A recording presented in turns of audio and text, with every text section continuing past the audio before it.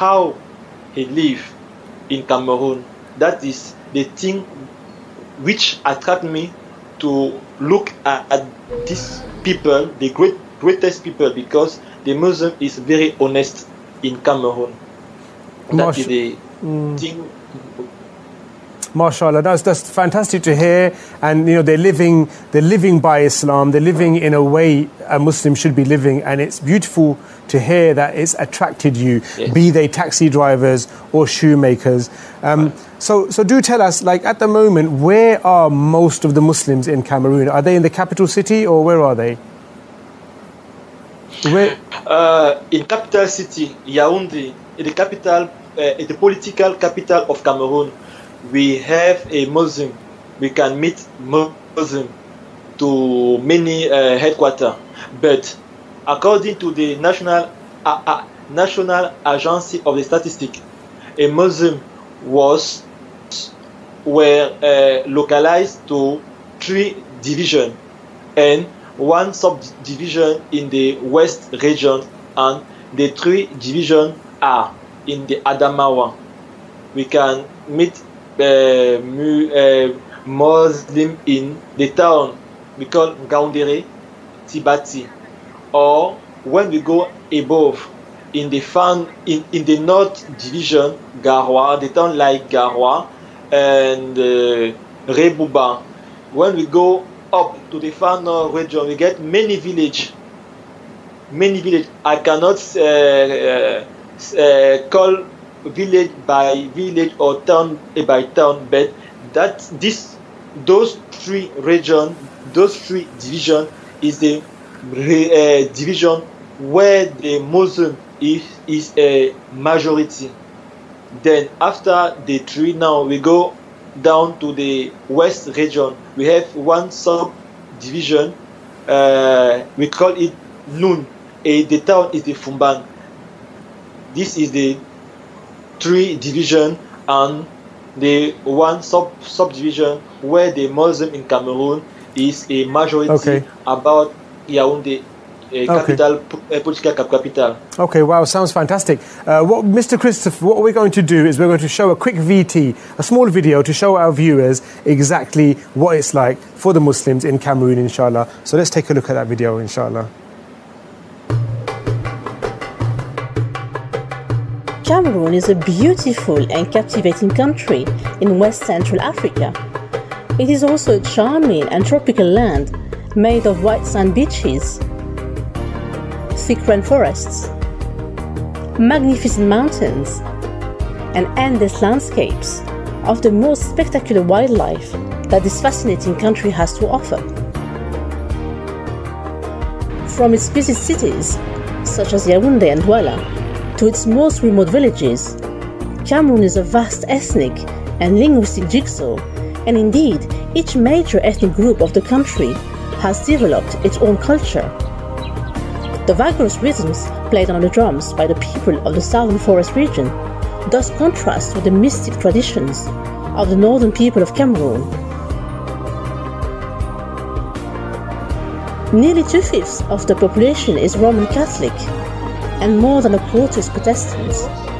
Muslims comprise roughly 31%, or 7.1 million, of the total population of 26 million inhabitants. Approximately 27% of Muslims in Cameroon identify themselves as Sunni Muslims.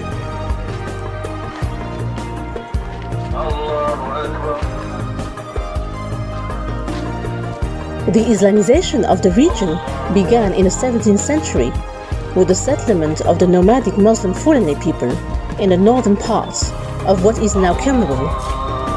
The Fulani people are in origin nomadic farmers who range from Senegal to Cameroon, and the ethnic group has the largest nomadic pastoral community in the world.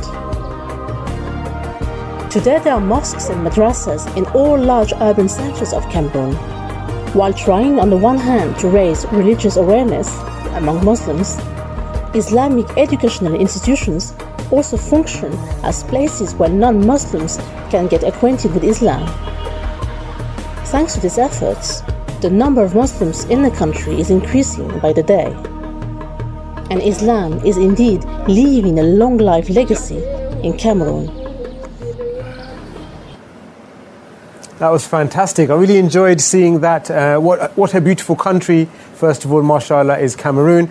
Um, and it's nice to see, you know, so much going on. It seems like the integration is very good. But can you tell us a little bit more how the uh, Muslim minority and, and the rest of, you know, Cameroon population, how they are with their friendships and relationships? We hear that you have made some good friends, but what, what about the majority? How are they treating each other? Uh, concerning a relation between the Muslim and the other and the majority part of the population, the relation is very good in many sides economic, cultural, religion, and another. The relation is very, very hard, very good. But some uh, some facts, some situation can occur which can oppose Muslim with the another. Let me uh, take a, tell, tell you a, a, short story. In Cameroon, in that years of 2014, 2015, and 2016, when in here in Douala, some people uh, look another a physical uh, appearance with the scribe. He call it Boko Haram or Seleka because in that period, in this period, the Cameroon, uh, the National Army of Cameroon were engaged to the border in the far north, which uh, fight against Boko Haram in the east division. We fight with uh, against the sect of Seleka which the boat was a Muslim. Now, apart this situation, the relation uh, between the Muslim and the other and the majority of people of Cameroon is very, very good. That's great to hear. That's great to hear. Um, you know, subhanAllah, there's always going to be some negative and there's always going to be some people that do not like to be kind and patient with one another. But subhanAllah, we can only try our best, right? Um, I'd like to know as well more about um, the community that you filmed the documentary with um, and what they spoke to you about and maybe what you saw. Um, how did they um, how did they behave and how did they spend their time during Ramadan and also how did they celebrate Eid? Uh, this year special. Uh, this year is very very uh, spe- uh, uh, special because uh, the world suffer at COVID nineteen.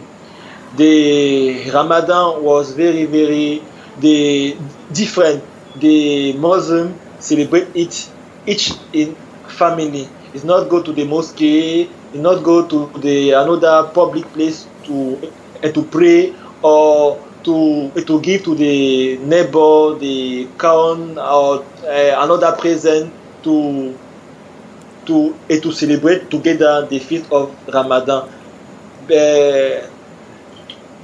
The, the previous years the previous Ramadan is a most most uh, is a most uh, feast of Muslim income because is in law uh, it, it identify Ramadan uh, like a public uh, legal religion day. And this day here is a public holidays.